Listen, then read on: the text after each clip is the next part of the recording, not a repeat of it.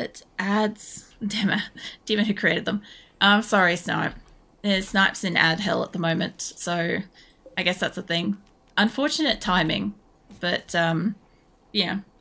Yeah, bot confirmed. Shh, shh. Nobody needs to know. oh man, look, I went through some funny fucking stages with like early streaming where like we had had people coming in and being like, "Oh, because you're using a female avatar, you must be a guy," or "You're a guy with a voice changer in a basement," or like you're like an AI here to scam us all or something like that. I'm like, what the fuck are you on about? and um, after a while, I learned that some of the comments about like the guy with the avatar and stuff like that, that's a bit of Asmongold's crew. Um, people that like watching his stuff because he often says things like that. And like, okay, all right, I figured out where that shit's coming from. But like the the bot and scamming stuff, I actually came across several streamers that are like mostly AI because either the streamer themselves are mute or they do not wish to speak on stream. And I'm like, okay, I kind of can get where this is coming from because I, I don't have a high pitched, like squeaky anime voice and stuff like that. I might be like coming across as a weird creature that's like, I don't know, human, but also like not the status quo of what you expect for an anime avatar. I'm also not playing a role, so there is also that confusion too. It's like, what the fuck? It's like I clicked on you and you're not like dancing around and spinning magical girl spells. Like, what the fuck is this shit? You know? um, but yeah, I don't know. I, I just figure like I'm just gonna be me. People either gonna like it or they're not, you know? Um, and I assume like the people that don't like it don't hang around. Yellow my vacation has started for the week. Nice. Welcome in, Headless Comet. Um, Oh, your vacation. How long's your vacation? Is it for the whole week? Because you said it started for the week. It started for a week. Is it a full week? So I have returned from the damnation of hell. Welcome back, Snipe. Guess what? How's your submarine going? Did you did you add more potato stuff to uh, your character? Um, also, yeah, I was I was appreciating the words that you said, tonight before. While you're in Ad Hill, unfortunately, I know you couldn't hear it because as hell. That's fine. So talking inwards? Don't know. I can whistle. Uh, whistle inwards. Yeah, it's kind of like that. Because like I can whistle inwards and I can whistle outwards, but I can also talk breathing in, breathing out as well. Most people can only talk breathing out. Um, but talking breathing in isn't that hard. Um, I imagine it's kind of akin to you know how there's people that can like burp the alphabet and shit like that. I imagine it's kind of along the same lines of that. It's just one of those extra little things that we found was novel when we were kids and decided to like really go ham on it and now we can just do it really well as an adult. Except mine's being able to talk without like pausing for air at times. Although I'm pretty sure you guys do hear occasionally when I do get oxygen. It's just not as often as everybody else. Lorena, are you doing plants? Yeah, you are. Can I send you down here for some plants, please? I need somebody to harvest some plants. To be fair, half of the female model VTubers are male. I have come across that. But, like, I don't know. I don't see any, like, problem with it. But I do understand, like, if you're clicking into a stream and you're expecting the, you know, avatar to be female and also the person behind it to be female, I can understand that being a little bit of, like, a surprise kind of thing that you're not ready for. Um, but I don't know, these days when I click in, I listen for a couple of minutes and I'm like, usually I look at tags normally. That tells me all I need to know. But um, I know some people do it as a bit of a troll. Like I've known a few people that literally have um, the female character to try to lure people in. And I think that's a little scummy. I think if you're going to have a female character, um, it should be some kind of like, like you should be comfortable with that. Or it should be some form of representation or something for yourself, as opposed to being like a bait and switch or a trap kind of thing. Because that's not really cool, you know? But yeah, I do get it. The other thing too is like, I also, as I said, like I'm not like super hyperactive, high energy, um, squeaky voice or anything like that. Like I thought about at one point I considered adding a redeem that was like would potentially request that I do something like cute and like that. And I'm like, there'll be times when I'm having a super serious conversation. Some bastard's gonna redeem that. And I'm gonna have to switch up from like serious shit to literally like some kind of polarized squeakiness. And I'm like, I don't think I can do that. Like, that's just, it's interrupting shit. So, yeah, I haven't added anything like that. But yeah, I don't know. It would be funny. I've seen people do it, and as long as it's not interrupting them when the person redeems it, it is funny. You know. That's been done. I got sidetracked on the NVD night vision. Oh yeah. I made a Spartan potato. Nice. Whenever somebody says Spartan, the first thing I think of is 300. But the funny thing is, I did used to watch a lot of, not watch, I used to read a lot of like ancient um, civilization stuff. What are you doing, Jet? You're on a fire starting spree. Yeah, I used to read up on a lot of ancient civilizations and stuff, so like my brain just doesn't automatically go to those illustrations anymore. It just goes straight to like movie representations of it. I almost have enough chickens and ducks that I can kick them out of here soon. Because this is also one of our food stores as well for like growing shit. That cheated on character creation. Better that. Um, I'd rather look at cute anime cat girl than burly man. The start of unmatching was it start of the unmatching voice was unsettling, but now it's just the norm. Actually, I find that too. Sometimes it's a little bit like when the voice doesn't quite match the character. Sometimes it's like, oh, that's um like that's a shame that like they don't kind of go together. But then after a while, it's so appropriate for that character and I love it because it's so like I, I don't know far out of what you'd expect from it. I get that with a few people's like characters and stuff and like I couldn't imagine them changing it to like anything else. And also that comment about like the the cute cat girl and stuff like that. I've actually heard something like that before. Is um, because I remember asking my partner when we were playing some game, and I was like, "Why do you always choose female characters?" Because like me, when I was growing up, we didn't really have many options for female characters in games, right? So whenever there was a female character, I would jump on that so fast because I'm like, "Cool, I get to be a female in this game instead of being one of the multiple dudes." Right? I'm talking about like good like 30 years ago kind of stuff, like 20, 30 years ago. And um, so I was always excited to grab any female character or like something close to me and stuff like that. But like, I asked my partner about it once and he's like, um, like he would rather like if a character if you could see the character running around he would much rather have a female character which would be nicer to look at as it runs around in the game than to have just like a dude, unless the dude has like really cool armor and gear and stuff like that. Then he'll go with like the dude. But generally speaking, if it's one where the outfit's not really um, to match the gear, if it's just like purely visual, you'll normally prefer to go with the visual of like the female because you'd rather watch a female bum run around on screen for like hours on end. And I get that. Like, I don't know once human has very much got ass cheeks on screen at all times until you get pants. So that was one of those things where the first time I saw Once Human, other people playing Once Human, it's like, oh my god, there's ass cheeks everywhere. I'm like, people must be doing this on purpose. And um, no, that's literally the first outfit you get in the game. And I'm like, so when I started playing, I'm like, I need pants. Like within the first couple of minutes of the first day that I played, I had pants, I crafted pants. And I'm like, I want pants on my chick because I'm like, the last thing I want is to accidentally attract somebody that like is a little bit too lewd for my channel and my community and stuff. And I don't want to, I want to bait people like that. At the moment, with my once human character, I literally don't give a shit. She'll get whatever gear I've got, and they'll be fine. Like I'm a little bit more progressive with it because anybody, there's lots of people out there playing once human. You can watch literally anything that you're interested in if like they've got a character dressed a certain way or um, playing a certain way or something like that, you can go and enjoy that yourself, kind of thing. So I don't have to worry about that anymore. You know, um, what's it? Um, inspiration because I was recently finished God of War. Remember the Sparta? Oh yeah.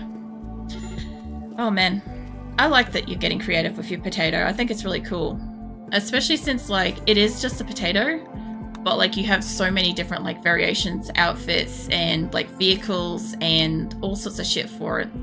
I love it.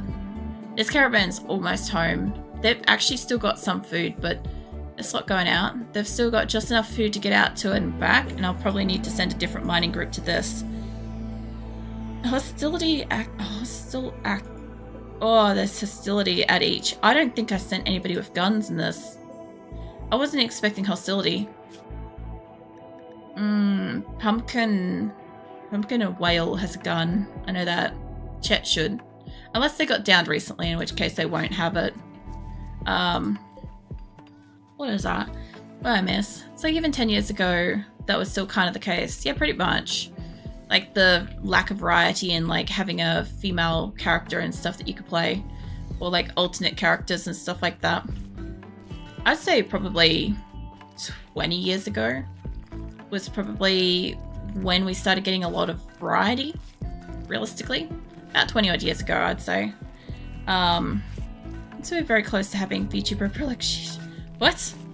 What's this about VTuber Aprillic? What am I doing? What did I do? I'm so confused. I feel like I missed something there. Fill me in with that one because I, I missed something. Um, so I'm going to mention Once Human. Lol. For me, it was Fallout New Vegas. They knew what they were doing. oh, yeah, I've seen some stuff. I've also seen people get like realistic mods for Seven Days to Die and be like, walk into a room and you know how you get like you're laying down zombies and stuff like that? Or like your corpses that you can carve up and they're like, they're a little too fixated for just a hot second because of the realism and stuff. And I'm like, I know what you're doing. I know where those eyes are. I don't know. I personally don't care, but I find it pretty amusing. I haven't got this thing set up to make any medicine. That's fine. It must have got destroyed and remade. Every time one of these gets destroyed by my people, I need to find it and reallocate the bills and shit. Um, what's that? Aprillic. What's that heart for? I think it's supposed to be a heart. Either that it's a three. It's legitimately a three. Let me know A little confused. Um, so whilst most people can silently appreciate the cake, the internet is full of exception that can't keep it to themselves and completely agree. streamer who I watch play it uh, is fairly open about the lewd jokes and some aspects of the personal life, so they don't mind. But I can immediately see why anyone else would not want that in their streams. It, was it? It invites worse kinds of viewers. Yeah, it does. The other thing too is like I've said this before. Like I am a asexual um, panromantic, right? So I find all kinds of like people to be attractive, but I don't want to fuck anyone, right? And I don't want any like lewdness and shit mm. towards me. I also don't want any like weird lewdness towards like me and my community. Jackal, mate, don't run towards it. Like it's just like it makes it awkward. Like um i think maybe if i was younger or something and or single i could play into like a flirtier role perhaps but because like i am in a relationship um and i oh, where are you going jackal mate okay he's going in up there. Yeah i'm in a relationship and i also just don't find that stuff to be like i don't know it's something i'm interested in either. Run jackal. Run um so i don't want any of that sort of stuff around. Like we sometimes get a little bit of confusion with like what is like considered as safe to work but just imagine like uh essentially like nothing intimate nothing like that like there's um like the occasional like slightly sus joke and stuff like i might occasionally say something a bit like offhand and be like what the fuck did she just say but like generally speaking like i don't want anybody in the community to keep that going. I don't want there to be like, you know, sus jokes or like horny bonks or, or anything like that. Like, it's just not me.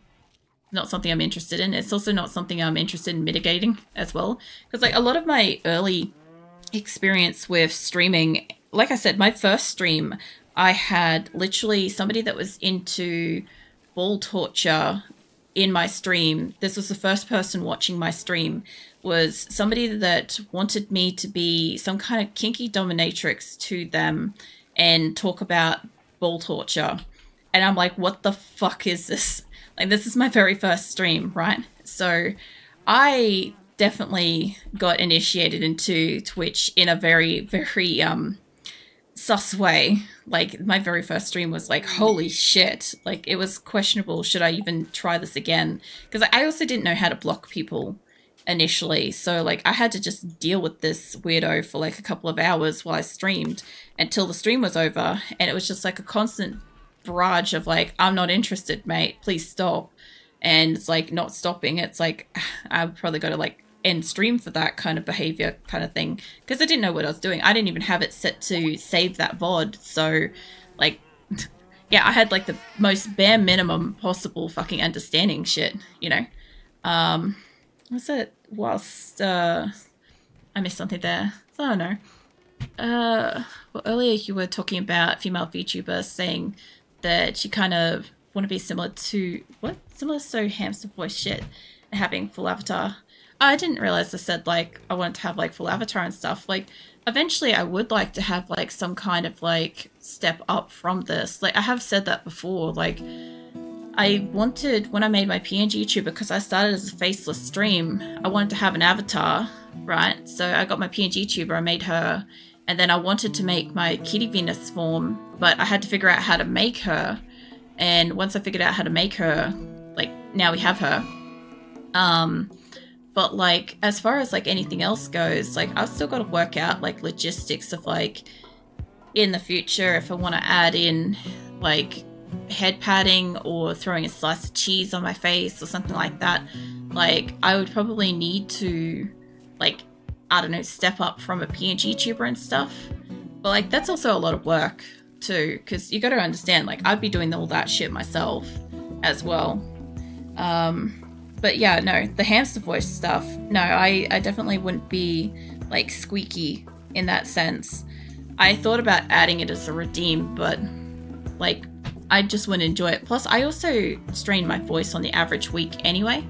So, like week to week, I by Friday night, by the end of Friday's stream, I generally have like bugger voice left. Um, and then I proceed to just not talk all weekend. That's, that's generally how my week goes. I'm seeing like baby lambs and all sorts of stuff in here. Um, what else did I miss? Um, it's fine regularly use Forbidden Mod for Sims, so I can forgive them. Uh, even if I find it odd choice of game to add that sort of mod. Well, um, the world of sus is fucking repugnant. Yeah, look, I try not to invite like the more lewd community here. Um, I think that's what I was trying to say, and I forgot before was like, like my very first stream was kind of horrible sus shit, right? But like I don't know, there's um sometimes it's difficult because like sometimes a person's like really good, but every so often they say something that's really deeply inappropriate and uncomfortable and stuff, and that kind of sucks too because it's like what do you do? This person's like good most of the time, and then they don't listen when like you ask them to stop or like certain games, like the Coffin of Andy and Leyley was one that was kind of bad. When I played that, it was great on stream. It was great fun. It was one of those 18 plus not safe for work streams that I did that was not appropriate at all for Discord and everybody understood, right? Everybody was on the same page until it went to YouTube. And then everybody that found it on YouTube came super fast into Discord with the horny and with the images. And like even before this, I had a lot of problems as like a female streamer where people were sharing like dick pics and like animal harming and like obviously telling me to kill myself and all the all the usual shit that you get when you stream and shit, right? But um like I I was already getting a lot of like unsolicited materials and stuff. And then the Coffin of Andy and Leyley hit YouTube. And oh my god, um, Discord was like mild anarchy for a little bit. Where I kind of had to like get everybody to understand that this was a what happens in stream stays in stream. What happens in the video, like the comments that happen in that video on YouTube stay in the video. like they don't come to Discord and stuff. So that's where like my only concern of putting those videos on TikTok at the moment is like what happens if people come from those communities and are like excited about it and stuff. And, like the only good thing is nobody comes from TikTok to anywhere else in my community, it seems. So I'm like, I feel like that's its own little place at the moment and I'm safe.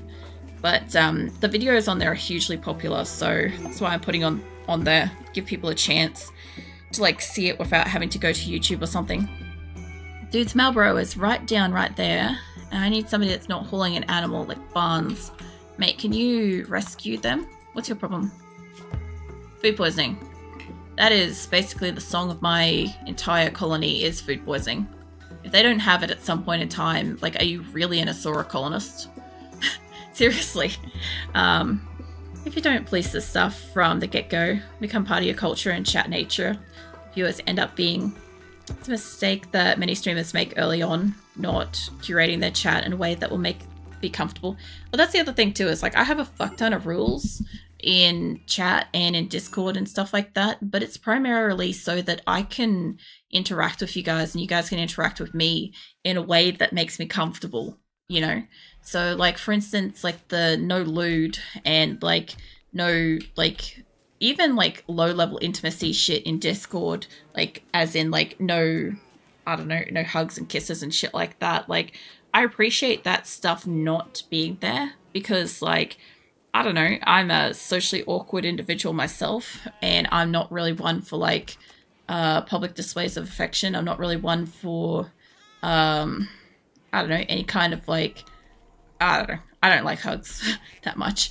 Um but like still there's a there's a time and a place for it and stuff like that. And i i personally don't want to bond over my community over like sus stuff. Because like oh caravan arrived lump nice. Because in the beginning i had a lot of people asking me to add a uh 18 plus area to discord. And i'm like why? I don't want to see your porn. I don't want to see your dick pics um, and then on top of that, um, they're like, oh, you know, just to share like lewd art of your character. And I'm like, why would I want that? I don't even want the rest of it, you know? Um, if somebody wants to draw my character as fan art, that's great. But it's, if it's sus, I don't want to fucking see it, you know? And of course, like, yeah, I had a few people try to do the old reach around in that sense where they'd be like, oh, instead of sending in Discord, let me send it to you directly. And I'm like, that's not how this works. So yeah, I've had to definitely like, I don't know, grow a fair bit. Like I'm not somebody that likes confrontation, but like if you fucking put me in a confrontational path, I will fucking stand up and take it. Basically, like I'll I'll take down the conversation. Like that's essentially how it goes. Um, as a streamer, it's my way or not at all. You know. Um, obviously, like, that always doesn't gel with everyone. I see that there's a few fucking animals on here too. There's a lot of does and uh, fucking animals everywhere. I'm thinking if somebody's in the area and they could hunt them, that would be great. Because we'll take the meat back. So what I want to do is, before I forget, let's get this set up to mine this. Because it's going to set them nuts. This slate? Yeah, slate. Alright, and I'll get the berries and not cut. I want that cut. And where is the heal root stuff? There we go. Alright, my people should be good here. They should get in and do the mining. I don't see any threat hitting them up, so we should be okay. I'll put down some beds and shit, you know. Let's go see you next time. Nice day. No worries, Snipe. I'll uh, catch you around. And see what else. I forgot you played that. I saw that in your playlist and I was wondering how you managed to moderate that. Oh yeah, the Coffin of Andy and Leyley was like literally it was exclusively a in-stream special event that I did and everything about it like everybody was allowed a little bit of wiggle room on being a bit sus and a bit like jovial about everything. It was great. We had a super great time. It was so fun. Um the only the only downside to it is like obviously i did have a few mega fans of the game in the chat because it was only newly released, right? So it was just people that wanted to see it and different takes of it, different people's opinions and variations of it and stuff, right? and uh, like there was a few people that was like come in and be a little bit too descriptive like happen to mention how it gets them hot and bothered and what they're doing about it and it's like mate like the good thing was i had a few regulars around at the time that were also willing to like stand up and be like how is that appropriate for a conversation like we don't know you like why would you say that sort of thing and that was nice like obviously i don't need my community to kind of like be my army and stuff like that and protect me and shit. I'm here to protect you guys in reverse, sort of thing. But like, it was nice to have like, you know, a bit of an echo chamber of everybody voicing the same thing that they didn't want to hear the shit as much as I didn't want to hear the shit. So it was nice having a few like minded people that didn't want it, didn't enjoy it, kind of thing, but were enjoying the game and the humor of the game. I also played another game too, Death Plate, that ended up being a little bit more psychotic than raunchy. So, also, The Coffin of Andy and Leyley was my very first most explosive videos on YouTube. Apparently, on Twitch, I was told by one of my community members that apparently I had the most people they'd ever seen in my chat watching me that night which did not soothe me at all. Like I had a whole weekend to like deal with that information. I'm like, I didn't need to know. But on YouTube, it went nuts. Within like 48 hours, it was up to like over a thousand views on each of the videos, on most of the videos. And I'm like, what the fuck? Like, this is when I had like a couple of hundred people following me. Like, we had less than a thousand easily, probably less than 500 follow me on YouTube, and it went nuts. So basically, the amount of people that saw me and watched those videos uh, were all new to my channel. That had probably never watched anything of mine before. So that was really cool. Obviously, they weren't that interested in anything else I was doing because they were there for the specific video. And that's fine. Like I get that. Like I sometimes see a creator and maybe they have like two or three different shows in a series that I like and the rest of it's not really for me. So like I do get that. But um yeah, for some reason on fucking TikTok, it's got like one of my videos on there has got like a hundred something thousand views and I'm like, what the fuck is this? Like I get it, it's it's the funniest fucking clip I've ever done.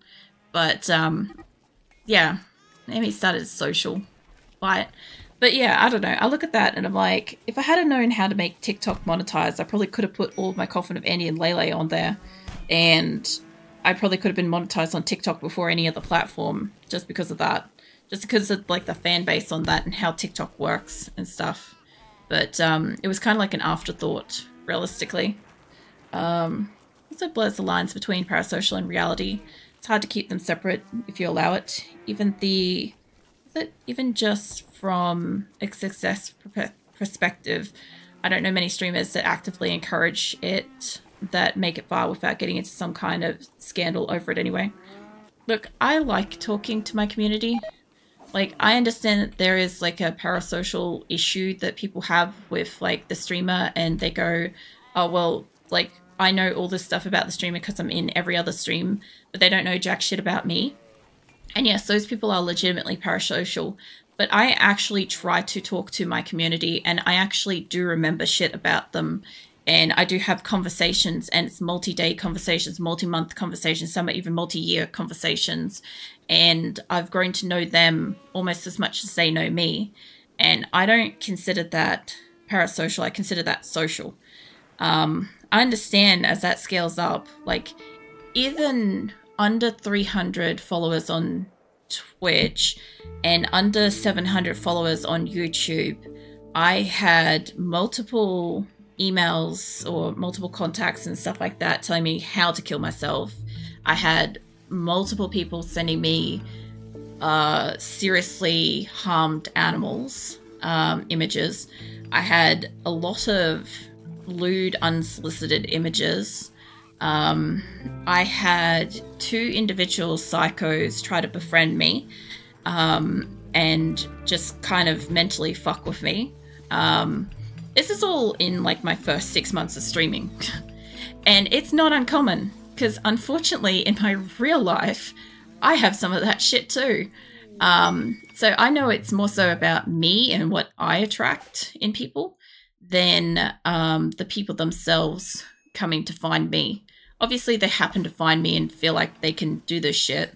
But the other thing too is the more I kind of grow with streaming, the less tolerant I am of it and the more aware and suspicious I am of it. So I can at least like identify it a little bit faster now. Um, the other thing is to like I'm also one of those people that you good, Phoenix? Phoenix is sneezing. I'm also one of those people that also um, get introspective and like look into like think about like how is this happening? Why is it happening? Why does it keep happening? Like, I don't sit there and think, oh, woe is me. Like, these people keep finding me. No, I have to be either exhibiting something or giving off something or, like, I don't know, engaging in some kind of manner that um, confuses people into being like psychos at me, you know? Um, or like feels that like I'm a specific target or something like that.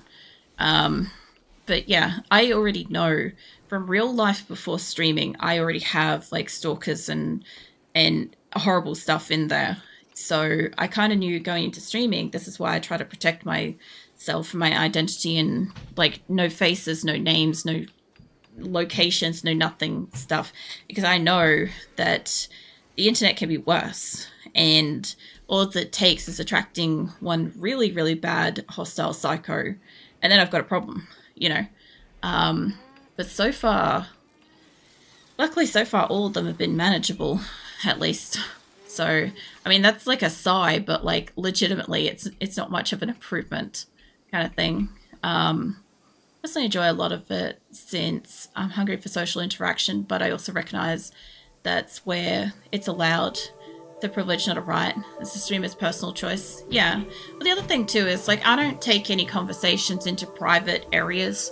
I have a public Discord. People can talk to me in chat, in stream. They can talk to me on like leave comments on my YouTube videos. They can have a conversation or share like stuff that they cook or like their